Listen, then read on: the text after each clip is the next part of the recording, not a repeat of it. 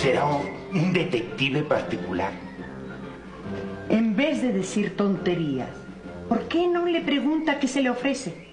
A la orden. Señor, ¿se le ofrece algo? No, muchísimas gracias. Otro día con mucho gusto.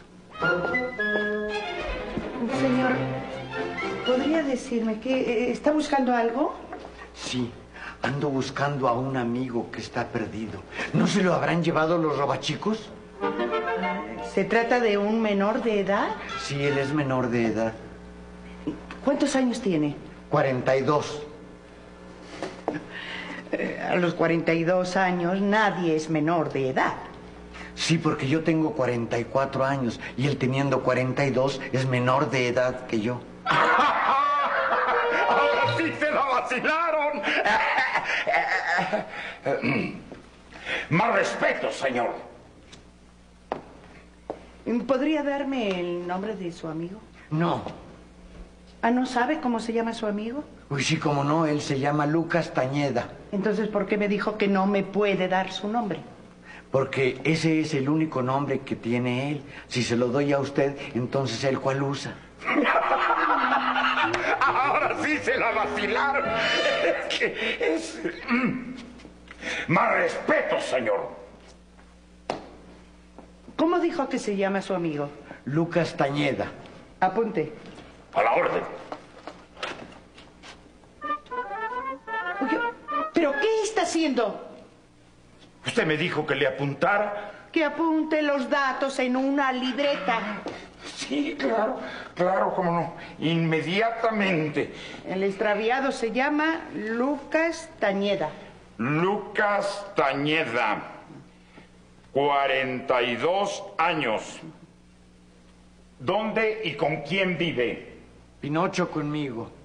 Pin- ¿Usted vive con Pinocho? Ay, claro que no. Entonces, Entonces, ¿qué? oh, ¿qué tiene que ver Pinocho en este asunto? Usted me preguntó que dónde y con quién vivía. Sí. Vivimos juntos. Y es Pinocho porque vivimos en la calle de Pino, número 8. Ahora sí se lo vacilaron, sí. Mm, Mira, ha- haga el favor de llamar a Locatela a ver si allá tienen algún informe. A la. Y, y usted, señor, por favor, ¿puede esperar un momento? Sí.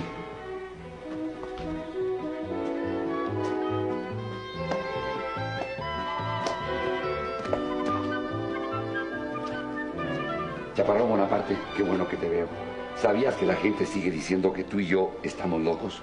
¿Que tú y yo estamos locos, Lucas? Figúrate. Ay, pero no hagas caso, Lucas. Lo mismo decían de mi tía. ¿De cuál tía?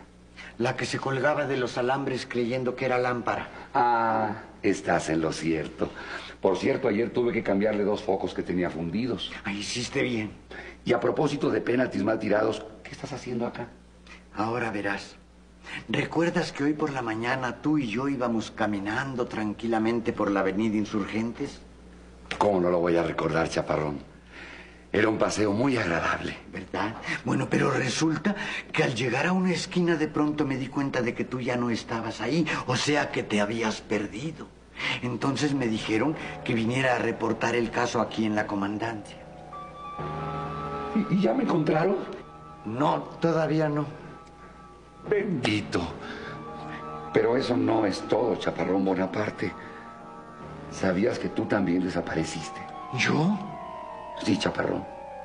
¿Recuerdas que esta mañana tú y yo caminábamos tranquilamente por la avenida de los insurgentes? Claro que lo recuerdo, era un paseo muy agradable. Pues resulta que al llegar a una esquina tú ya no estabas. O sea, que habías desaparecido. Bendito. Entonces me dijeron que viniera a reportar el caso a la delegación. Vamos a ver si están bien los datos. Chaparrón Bonaparte, 44 años, domicilio, calle del Pino, número 8. Exacto. Ajá. Sí, o, o sea que todos vivían en el mismo lugar. Así es. Sí, ahí. Ajá. Ajá. Esto es mucho, muy extraño.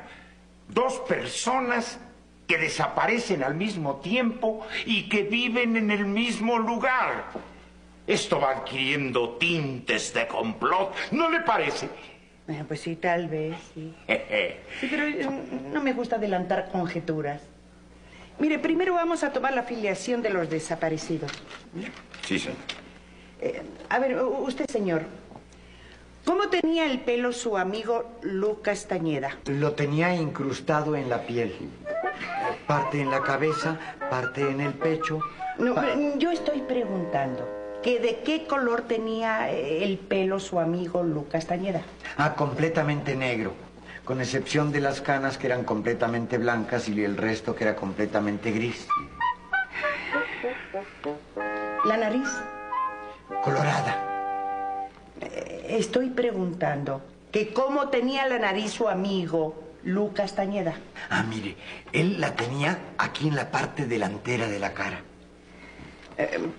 Pero bueno, ¿qué, qué aspecto tenía la nariz de su amigo Lucas Tañeda? Horrible. Era tan fea que casi era como la de usted. Ahora sí se la vacilaron. Con todo. Eh, Más respeto, señor. Bueno, sigamos con la descripción de su amigo.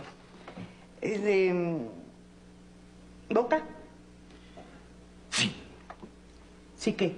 sí tenía boca. Pero yo estoy preguntando que, que si la boca de su amigo Lucas Tañeda tenía alguna eh, particularidad en especial. Ah, sí. Parecía riñón desplemado.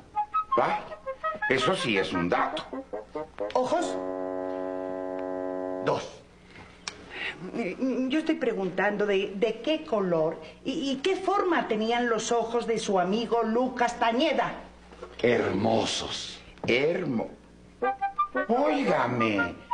¿Cómo dijo? Que los ojos de Lucas Tañera son hermosos. Por favor. Yo no utilizaría nunca esa palabra para describir los ojos de un hombre, y menos pronunciándola con el énfasis que usted usó. Bueno, mire, eh, eso no es de su incumbencia. ¿Mm? Ahora vamos a tomar los datos de, de la otra persona desaparecida. Ah, sí, correcto. Este, ¿Me puede hacer una descripción de su amigo, el, el- el tal este que... ¿Cómo se llama? Chaparrón Bonaparte. Ese, Chaparrón Bonaparte. Descríbamelo, por favor. Es la cosa más fácil del mundo, señor. Mire, ¿ve usted aquí al individuo este? Sí. Bueno, haga de cuenta, igualito. La misma complexión, la misma estatura, lo- la misma, todo, todo. Sí. Oye, Lucas, Dígame, licenciado. licenciado, Gracias, muchas gracias. no hay de queso, nomás de papa. Oye, Lucas, te faltó decir que los ojos de Chaparrón Bonaparte también son hermosos. Otro. Sí, pero mire, ¡Ay, cuidado! ¡Cuidado! Espérenme, son una chilipiolca. Ahorita se la quito. gracias. No hay de queso, nomás de papa. Perdón. ¿Qué fue lo que dijo que le pasaba al señor? Le dio una chiripiolca. Y por cierto, las chiripiolcas también le dan a mi amigo Chaparrón Bonaparte. Ah, eso quiere decir que son contagiosas. ¿Por qué? ¿Cómo? ¿Por qué? Todos viven en la misma casa y ya van dos que les pasa lo mismo. No, yo le voy a explicar. ¡No me toque! Entonces a usted, ¡No se acerque! ¿Se volvieron locos? Tal vez porque tú y yo hemos vivido juntos durante muchos años y a mí jamás me, jamás me, jamás me, jamás me, jamás me, jamás me, jamás me. Castañeda por fin te dio una chiripiolca, permíteme. Gracias. No hay de queso, nomás de papa. Eh, señores, ¿por qué mejor no se van a descansar y, y- y después ya les daremos informes de, de sus amigos los desaparecidos? No, señora. De ninguna manera. Yo no me muevo de aquí hasta que no me hayan ayudado a encontrar a mi amigo Chaparrón Bonaparte. Y yo tampoco me voy de aquí sin haber encontrado a mi amigo Lucas Tañeda. Si no me equivoco, Lucas Tañeda soy yo, ¿no? Estás en lo cierto. Y en tal caso, yo soy Chaparrón Bonaparte. Es verdad. Lucas, no sabes cómo te he extrañado. Y yo a ti. Señores, gracias por haberme ayudado a encontrar a mi amigo Chaparrón Bonaparte. Y lo mismo les digo yo, de parte mía y de mi... Lucas. Lucas. ¡Chaparrón! ¡Chaparrón Bonaparte! Vengo a denunciar la desaparición de un amigo mío.